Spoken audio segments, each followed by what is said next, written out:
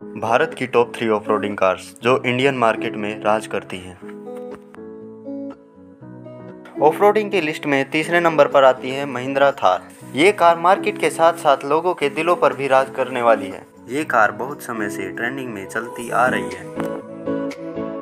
दूसरे नंबर पर आती है टोयोटा फॉर्चुनर इस कार की लुक लोगों को अपनी तरफ़ आकर्षित करती है।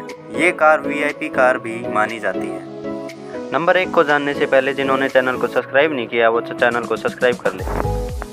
पहले नंबर पर आती है लैंड रोवर की रेंज रोवर कार। सेफ्टी और कंफर्ट के मामले में इस कार को फाइव स्टार रेटिंग मिली हुई है।